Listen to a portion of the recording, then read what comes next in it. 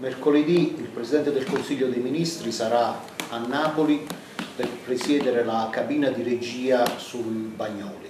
Saranno annunciati i programmi per eh, finalmente la bonifica e la ripresa dell'area simbolo della rinascita del Sud come si auspicano tutti. Il Sindaco di Napoli, dopo le polemiche dei giorni scorsi, parteciperà alla cabina di regia?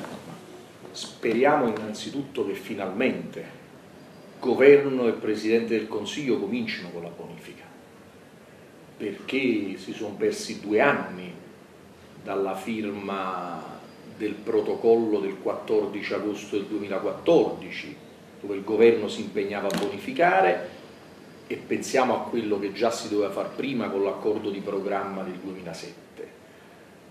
Prendo atto che in piena campagna elettorale il Presidente del Consiglio si assume la responsabilità politica della cabina di regia. Eh, vede direttore, alla luce anche di quello che è accaduto in Basilicata, ci vorrei tornare tra breve, e alla luce di quello che ho detto durante l'iter che ha portato al decreto legge sullo sblocca Italia, la realizzazione dell'articolo 33 e quello che ci siamo assunti come amministrazione e di cui personalmente me ne assumo la responsabilità politica, istituzionale e giuridica di quello che ho detto sin dal primo momento, che l'articolo 33 sblocca Italia a Bagnoli è un corpo di reato, io non posso impegnare la mia persona per la coerenza tra quello che ho rappresentato in magistratura e oggi da sindaco di Napoli e impegnare l'amministrazione che ho l'onore e l'onere di guidare di entrare in un luogo in cui tutto c'è tranne la trasparenza e in cui il Presidente del Consiglio è il principale responsabile politico di quella cabina di regia. Noi vogliamo dialogare con il governo e ci stiamo dialogando, poi mi auguro dopo di poter entrare nel merito delle questioni, quindi sempre pronto e anzi chiedo attraverso l'ANSA di poter avere finalmente l'onore, il privilegio, non so se chiamarlo così per un sindaco che da un anno e mezzo chiede di poter incontrare il Presidente del Consiglio per parlare di Bagnoli e forse se il Presidente del Consiglio mi avesse ascoltato un anno e mezzo fa probabilmente non si consumava una delle operazioni più opache della storia istituzionale del nostro Paese attraverso legge ordinaria di commissione tra presunto interesse pubblico e ben individuato interesse privato. Io sono disponibile, anzi vorrei incontrare mercoledì il Presidente del Consiglio ma tra due istituzioni individuate nella Costituzione della Repubblica Italiana, che sono il Presidente del Consiglio, capo dell'esecutivo nazionale e il sindaco di Napoli, eletto dal suo popolo a rappresentare gli interessi pubblici e collettivi della città e che intende solamente difendere con le mani pulite la sua città. Quindi io chiedo un incontro al Presidente del Consiglio, ma non entro in un luogo in cui si sta consumando un'operazione assolutamente torbida dalla quale voglio stare distante e starò sempre distante, che è la cabina di regia. Nell'ipotesi in cui il Presidente del Consiglio, anche sulla base delle decisioni del TAR, le dovesse rispondere il nostro incontro non può che avvenire al tavolo della cabina della re di regia su Bagnoli, il Sindaco di Napoli cosa farà? Ma, uh quel luogo non è il luogo istituzionale previsto dalla Costituzione repubblicana quando si parla di un luogo come Bagnoli. Poi la cabina di regia ha anche un fatto nuovo, ha una poltrona vuota. Nella cabina di regia c'era anche il ministro Guidi dello sviluppo economico. Andiamo a vedere che cosa abbiamo detto in questo anno e mezzo. Il nostro non è un capriccio, noi non riconosciamo quel luogo come un luogo dove si sta realizzando l'interesse pubblico del rilancio di Bagnoli. Noi non possiamo stare in un luogo in cui c'è una commistione opaca tra presunto interesse pubblico, che sarebbe il rilancio di Bagnoli, e sinora nulla ha fatto il governo, perché una cosa che doveva fare era la bonifica e l'individuazione di soggetti privati predeterminati. Cioè noi da un anno e mezzo stiamo facendo su questo tema una battaglia di trasparenza, di legalità per cercare di dare fiato alla libera concorrenza, alla ricerca, al lavoro come diritto, alla rimozione della colmata, alla spiaggia pubblica, al paesaggio, all'archeologia industriale, all'edilizia sostenibile, al parco, alla piccola e media impresa. Noi non diciamo, direttore, solamente dei no, noi diciamo dei no a chi vuole speculare, a chi vuole creare commistioni opache, ma quanti sì abbiamo detto in questi cinque anni? Il primo sì è stata la spiaggia pubblica, il secondo sì al protocollo firmato col Presidente del Consiglio, che certo non abbiamo tradito noi, ma altri, al piano per Bagnoli approvato in giunta, in Consiglio comunale, discusso nelle scuole di Bagnole, nelle assemblee popolari, con gli ordini professionali. La strada c'è, discutiamo del piano, governo faccia la bonifica, Renzi faccia quello che vuole, vuole andare avanti con questa cabina di regia, certo non glielo possiamo impedire se non facendo i ricorsi previsti dall'ordinamento democratico, ma io sono convinto che se si seguono i binari istituzionali si andrà avanti nel rilancio di Bagnoli come stiamo facendo, perché in questi cinque anni noi oggi siamo a un passo dallo sblocco a Bagnoli dalla città di Napoli. Se il governo comincia la bonifica, la strada è totalmente spianata. Sindaco, però eh, sulla, su questa strada, su questa linea, la giustizia amministrativa le ha già dato torto, sancendo che l'articolo 33 dello sblocco Italia è legittimo. Questo non indebolisce le sue posizioni e il suo ragionamento nell'interlocuzione con il governo. Ma faccio due riflessioni. Una prima che non è la prima volta che decisioni eh, vengono poi riviste nelle sedi successive, tant'è che noi stiamo per depositare ricorso al Consiglio di Stato, ma se guardiamo con attenzione la, le motivazioni del TAR, eh, tanto torto non lo vedo perché? Perché il principale elemento su cui avevamo fondato il nostro ricorso, la realizzazione della società di scopo, che era un po' la principale propaggine di un'operazione assolutamente illegittima, è stata eh, tolta, guarda caso, con una norma inserita dal governo con decretazione d'urgenza e poi dal Parlamento nel mille proroghe che elimina proprio la società di scopo.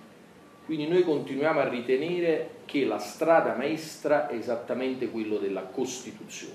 Poi il TAR ritiene come dire, che con la cabina di regia, eh, secondo il TAR, non ci sia nulla di male, che si possa commissariare. È una posizione dire, che noi non condividiamo, ma non è che dice che il Comune perde le sue prerogative. Tanto è vero che noi in questi mesi mica abbiamo aspettato la cabina di regia, perché se avessimo aspettato la cabina di regia, è passato un anno e mezzo dall'urgenza del decreto legge per arrivare alla nomina del commissario. Noi siamo andati avanti in questo anno e mezzo e quindi proseguiamo con la nostra azione che è quella dei poteri costituzionali, del piano su Bagnoli e poi non dimentichiamo quello che sta avvenendo fuori anche, che è una novità, non di poco conto in questi giorni, cioè che una parte considerevole di questo ragionamento lo troviamo in un'inchiesta giudiziaria che mi sembra particolarmente rilevante che sta accadendo in Basilicata, cioè vicende molto simili, dove addirittura c'è stato un intervento per modificare una legge che ha una connessione molto forte con lo sblocca Italia. Tanto è vero che lo stesso Presidente del Consiglio si assume in questione la responsabilità politica di dire quella è una legge che ho voluto io personalmente. Qua torniamo ad una delle sue eh, critiche eh, più forti al governo attraverso lo sblocco Italia. Su Bagnoli lei ha detto Renzi vuole favorire interessi, interessi privati. Lo ribadisce ora nel momento in cui associa le due vicende, Bagnoli e il petrolio in Basilicata. Beh, io l'ho detto un anno e mezzo fa e invito tutti ad andare a rivedere gli audio e anche il video perché feci una conferenza stampa quando esattamente un anno e mezzo fa dissi qual era il livello di commistione che c'era nell'articolo 33 dello sblocco Italia e la parte più inquietante era l'individuazione dei soggetti privati beneficiari attraverso una procedura non di evidenza pubblica. E non dimentichiamo, direttore, lo voglio dire all'ANSA, che il 3 dicembre del 2013 il sindaco di Napoli, ed è un precedente nella storia del nostro paese, ha fatto un'ordinanza dopo un lavoro meticoloso fatto dagli uffici comunali e dagli assessorati competenti, con cui abbiamo ordinato a chi ha inquinato negli anni precedenti alla nostra amministrazione di pagare, di risarcire. E quell'ordinanza confermata fino al Consiglio di Stato, e anche lì all'inizio le vicende si sono un po' alternate sul piano giudiziario, ma in via di, alla fine abbiamo avuto ragione su tutta la linea, chi sono stati individuati come soggetti inquinanti? Ecco, forse qua è la madre un po' di tutte le questioni. La Fintecna, società per azioni, che è una società finanziaria detenuta al 100% da Cassa Depositi e Prestiti, che come si sa è il governo della Repubblica Italiana, e poi da Cementir, che è un noto gruppo di costruttori di livello nazionale. Quindi siamo arrivati alla firma del protocollo ad agosto, dove il Presidente del Consiglio, agosto 2014, si impegnava a bonificare e a noi a fare il nostro piano. Noi il nostro piano l'abbiamo fatto, il Presidente del Consiglio non inizia la bonifica con i poteri ordinari, fa il, eh, fa il decreto legge, il decreto legge sul eh, cosiddetto sblocca Italia con l'articolo 33. Io ricordo che in quei giorni chiamai il governo e dissi ma che cosa è cambiato? Qual è la novità? Perché eh, passiate dalla firma del protocollo che prevedeva procedure ordinarie, anche semplificate, attraverso l'accordo di programma e invece commissariate e fate l'articolo 33? E la risposta che mi fu data è il Presidente del Consiglio che direttamente sta seguendo la questione. Quindi perché il commissariamento? Perché esautorare i poteri del comune? Perché eliminare la democrazia? Andiamocelo a leggere l'articolo 33 nella sua versione originaria. Si andava a creare una commistione tra coloro che noi avevamo individuato come anche i soggetti inquinanti, che potevano agire con poteri commissariali, e dall'altro i soggetti privati, i soggetti attuatori, che erano poi individuati anche tra i proprietari dei suoli in Bagnoli. È per questo che lei parla dell'articolo 33, eh, anche alla luce degli ultimi avvenimenti in Basilicata, come una delle più grandi operazioni di opacità istituzionali consumate attraverso leggi ordinarie. Ma assolutamente sì, l'ho detto un anno e mezzo fa e quello che sta accadendo in Basilicata innanzitutto ricorda un'inchiesta che io feci nel 2006-2007, Toghe Lucane, che è una fotografia molto simile a quella che vediamo in questi giorni. Beh, in questi giorni che cosa vediamo? Una commistione, ovviamente si tratta di indagini preliminari, eh, sia ben chiaro, però quello che viene fuori anche dalle intercettazioni, dal compendio investigativo della Procura della Repubblica, una commistione tra centri di potere politico, imprenditori, gruppi che da anni stanno operando anche nel territorio lucano.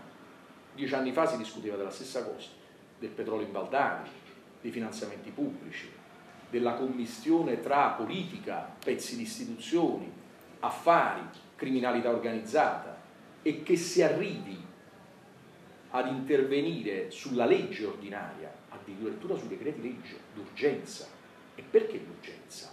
Perché si intervenne d'urgenza con lo sblocca Italia con l'articolo 33 su Bagnoli se c'era un protocollo attuato? Qual era questa urgenza? Era talmente urgente che ci hanno messo un anno e mezzo a nominare il commissario.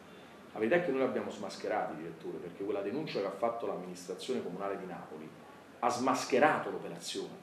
Abbiamo messo in evidenza quali erano gli interessi privati, abbiamo messo in evidenza la commistione che c'era tra l'operazione del governo attraverso il decreto legge e gli interessi privati predeterminati il sindaco di Napoli non è contro l'impresa, non è contro la libera impresa, non è contro i privati, è contro la commistione, la collusione, il rapporto tra potere politico e prenditori, tra potere politico e proprietari dei suoli predeterminati, tra potere politico e chi ha inquinato. Pensate che la giunta precedente non si costituì nemmeno parte civile, della giunta precedente faceva parte la Valente, e oggi il Presidente del Consiglio con questa attività di forte propaganda politica forse vuole nascondere le responsabilità del passato, la vergogna del passato, o forse nascondere le primarie di adesso del Partito Democratico di Napoli che non si parla più, vuole mettere la sua faccia, bene, però deve rispondere che cosa è accaduto in quel giorno, quando io chiamai a fine agosto e le do una notizia in anteprima, a fine agosto 2014 chiamai all'allora sottosegretario Del Rio, col quale avevamo discusso con un rapporto importante, efficace, di grande rispetto istituzionale. Ho detto, ma che cosa sta accadendo? Perché si cambia? Se c'è un protocollo, se stiamo lavorando per fare un accordo di programma, semplificare le procedure e quindi fare prima, la questione è stata presa in carico direttamente dal Presidente del Consiglio. Quindi confermo quello che in realtà ha detto anche Renzi. Renzi sta dicendo l'operazione sblocca Italia, l'operazione, quello che è accaduto politicamente in Basilicata, mi assumo la responsabilità di aver sbloccato. Ma che cosa ha sbloccato? Fino non ha sbloccato niente, ha solo bloccato. Ha bloccato il rilancio di Bagnoli, su cui noi da anni stiamo lavorando. E una cosa gli abbiamo chiesto, bonifica. E in questi mesi, nonostante il commissariamento, direttori, i nostri uffici tecnici, insieme anche agli uffici del governo, cioè del Ministero dell'Ambiente, stanno lavorando. Si sta lavorando assessorato all'ambiente con ISPRA, si sta lavorando sulla caratterizzazione, si sta lavorando per preparare la bonifica. Quindi noi collaboriamo a tutti i livelli istituzionali e voglio anche smentire di chi dica che il sindaco è isolato, che il sindaco è arroccato. Noi collaboriamo ogni giorno con tutti i livelli istituzionali del nostro paese. Ma io credo che il nostro piano è un buon piano se il governo ci aiuta a renderlo ancora migliore, per carità, purché sia fatto nella cornice dell'interesse della città, della tutela del paesaggio, dei diritti dei lavoratori, della libera impresa, ma sono fiducioso perché il nostro è un piano buono. E io dico anche questo, se il Presidente del Consiglio avesse accolto che da un anno e mezzo che il sindaco di Napoli ha chiesto un incontro al Presidente del Consiglio e io ho anche scritto lettere e io ho anche mandato il piano, probabilmente se avesse ascoltato questo sindaco, il sindaco con la chiarezza, l'umiltà e, e gli errori che può commettere sia ben chiaro, gli avrei illustrato che cosa c'era dietro l'articolo 33, che cosa è accaduto dietro l'articolo 33 e probabilmente avremmo capito se il Presidente del Consiglio sapeva fino in fondo quali sono gli interessi. Questo è il tema, noi vogliamo rilanciare Bagnoli, ecco perché voglio incontrare il Presidente del Consiglio su questo. E se lui riterrà di non farlo, si andrà comunque avanti, perché non si può non realizzare Bagnoli senza la città, non si può non realizzare Bagnoli senza il comune, il consiglio comunale, i cittadini, il popolo. E tanto è vero che noi sinora le nostre carte le abbiamo mandate e comunque si ritornerà al comune, perché anche quello che deciderà la cabina di regia anche nel caso in cui il Presidente del Consiglio ritenga di non avere alcuna interlocuzione diretta col Sindaco di Napoli, si tornerà in conferenza di servizi, come prevede a un certo punto la legge. Quindi io sono assolutamente persuaso del fatto che noi difenderemo la città da ogni tentativo di speculazione, su questo abbiamo già vinto, perché l'abbiamo già smascherato, il re nudo, abbiamo detto quello che c'è dietro, quindi questa è una, è una grande vittoria della città. E dall'altro lato ci saranno dei sì, il rilancio di Bagnoli che non può che avvenire nell'interesse pubblico dei lavoratori, a risarcire anche le sofferenze di tanta gente che ci ha rimesso familiari da un punto di vista di salute, persone che sono morte, persone che sono ammalate, tanta gente che ha sete di lavoro e tutto questo lo si farà in una cornice di legalità, perché noi saremo garanti di questa operazione, nessuna cosa potrà calare dall'alto. Il Presidente del Consiglio deve sapere che sta cambiando la politica che la gente, almeno a Napoli, si sta riappropriando della città, vuole partecipare, dice la sua, viene alle assemblee popolari, dà un contributo critico, sollecita l'amministrazione, la pungola quando sbaglia. Questo fa bene al paese, non bisogna avere paura. Se c'è un sindaco che esprime una posizione di difesa della città, io sarei molto curioso se facessi il Presidente del Consiglio ad andarlo ad ascoltare. Però Sindaco, lei è stato accusato di istigare alla violenza quando eh, ha detto a Renzi dialogo o sarai respinto. Cosa si aspetta mercoledì? Ma la ringrazio direttore di questa domanda, perché io sono un uomo delle istituzioni.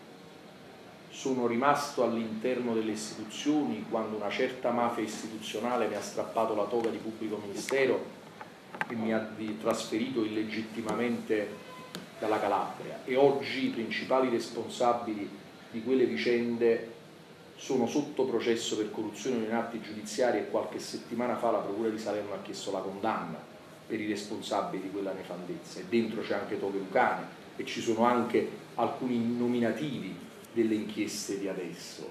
Sono un uomo delle istituzioni che darà la vita per difendere la Costituzione. Se oggi qualcuno pensa che chi difende la Costituzione è un soppressivo, non so che dire. Mi, iscrivo tra i difensori della Costituzione Preferisco difendere la Costituzione e calpestarla. Preferisco difendere la Costituzione che mortificarla con legge ordinaria, a colpi di fiducia e decretazione d'urgenza. Preferisco difendere la Costituzione che cancellare la sovranità popolare, che cancellare le democrazie di prossimità, che annientare un sindaco solo perché la pensa diversamente.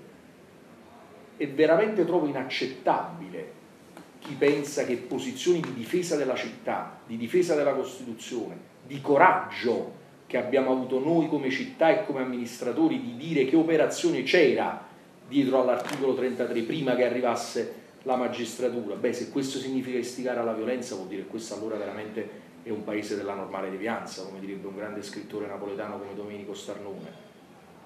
Che i deviati diventano sistema ordinario e chi difende la legalità diventa sovversivo.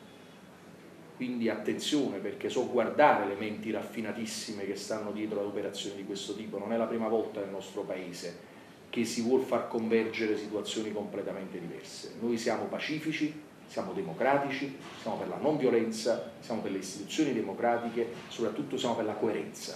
Io le cose che facevo da magistrato le faccio adesso da sindaco. Prima tenendo la toga addosso, oggi portando avanti il mandato popolare con dignità. La gente mi ha votato non per piegarmi, non per sedermi a un tavolo che puzza di compromesso morale, non per non dire cose, per dirle. Poi posso sbagliare, ma mi assumo la responsabilità e so avere senso istituzionale. Quindi stiano attente le persone a saldare cose che non esistono e poi sono convinto che su Bagnoli si è messa in campo anche una grande lotta popolare, che credo che fa bene alla nostra città. E ovviamente qualsiasi cosa che è violenta non può essere sicuramente messa in bocca o accostata a questo sistema. Ma per mercoledì c'è un problema di ordine pubblico? Direttore, io non mi occupo di ordine pubblico, non faccio il prefetto a Napoli, faccio il sindaco.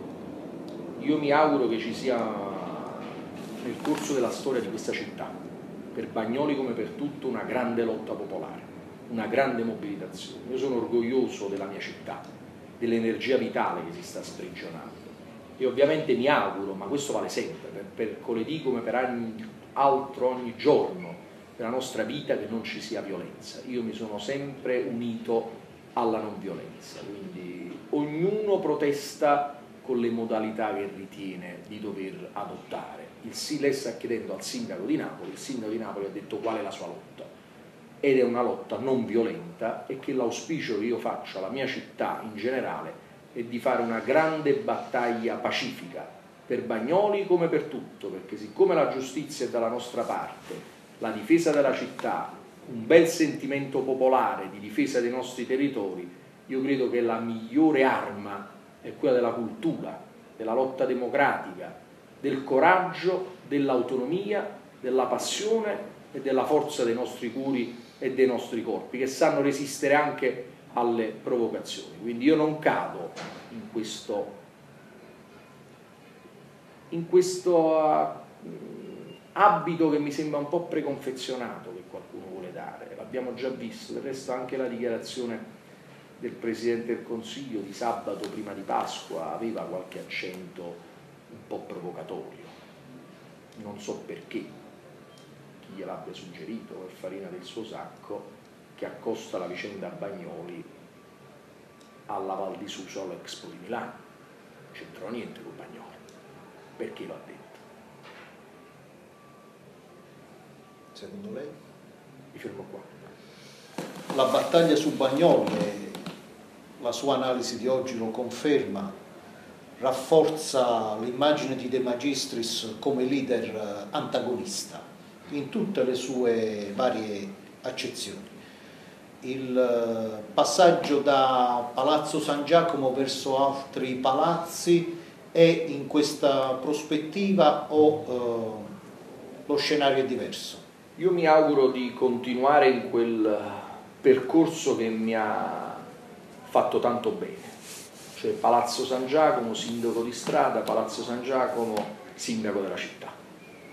Io amo profondamente la mia città, sono un napoletano doc, sono meridionale, credo che il riscatto del sud faccia molto bene al paese, uniti nella diversità e io mi impegnerò con tutte le mie forze per fare il sindaco di Napoli per i prossimi cinque anni. Certo, sono consapevole che Napoli acquisirà un ruolo di soggettività politica autonoma, che Napoli ha dimostrato di mettere in campo politiche non liberiste, di reggere al cappio della finanza, di non privatizzare i servizi essenziali, di mantenere l'impegno dell'acqua pubblica, siamo gli unici, abbiamo tolto l'emergenza rifiuti, stiamo dando dignità al popolo che è protagonista di questa città, governato senza soldi, ma con grande impegno e con le mani pulite, con grande passione, con, mettendo al centro l'uomo, il capitale umano, la forza del sud, della nostra città. E questo è un lavoro che si deve continuare a fare,